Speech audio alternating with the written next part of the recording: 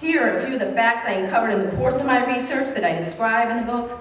There are more African American adults under correctional control today, in prison or jail, on probation or parole, than were enslaved in 1850, a decade before the Civil War began.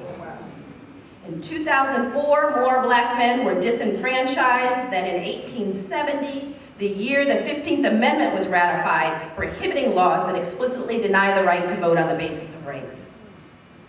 Today, of course, they're disenfranchised due to felon disenfranchisement laws. During the Jim Crow era, poll taxes and literacy tests kept African Americans from the polls.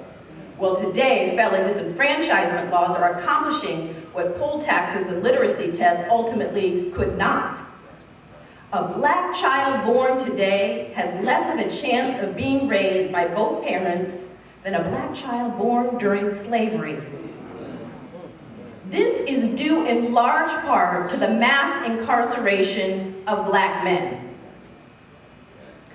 There was a great article published not too long ago about this in The Economist magazine entitled, How the Mass Incarceration of Black Men Harms Black Women.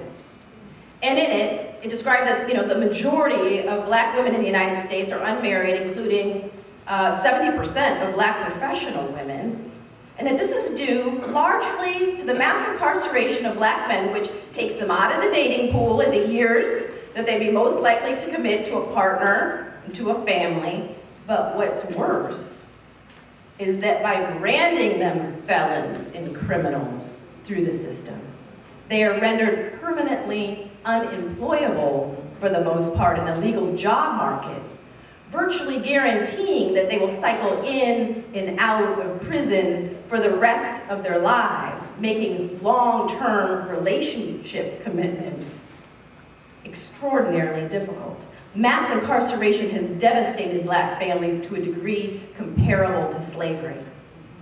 Now in some major urban areas, including right here in Chicago, more than half of working age African American men have criminal records and are thus subject to legalized discrimination for the rest of their lives.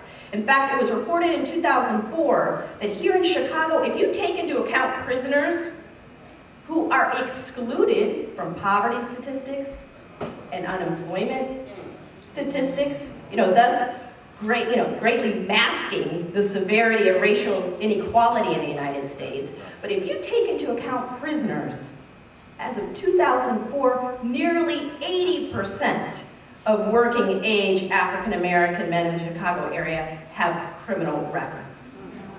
Now, these men are part of a growing undercaste, not class, caste, a group of people defined largely by race who are relegated to a permanent second-class status by law. Now, I find that when I give talks about this issue, a good percentage of the folks there are tempted to say, what are you talking about? Mass incarceration is not a system of racial control, it's a system of crime control. Now, if black people would just stop committing so many crimes, they wouldn't have to worry about going to prison and being stripped of their basic civil and human rights.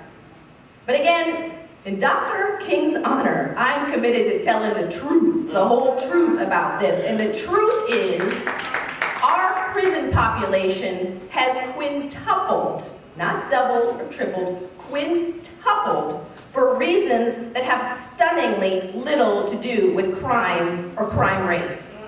We now have the highest rate of incarceration in the world, a penal system unprecedented in world history, but this is not, I repeat, not due to crime rates. Crime rates have fluctuated over the past 30 years. Gone up, gone down. Today, as bad as they are in some cities, including Chicago, nationwide, crime rates are at historical lows. But incarceration rates have consistently soared. Most criminologists and sociologists today will admit Crime rates and incarceration rates in the United States, they've moved independently of one another. Incarceration rates have soared regardless of whether crime was going up or down in any given community or the nation as a whole.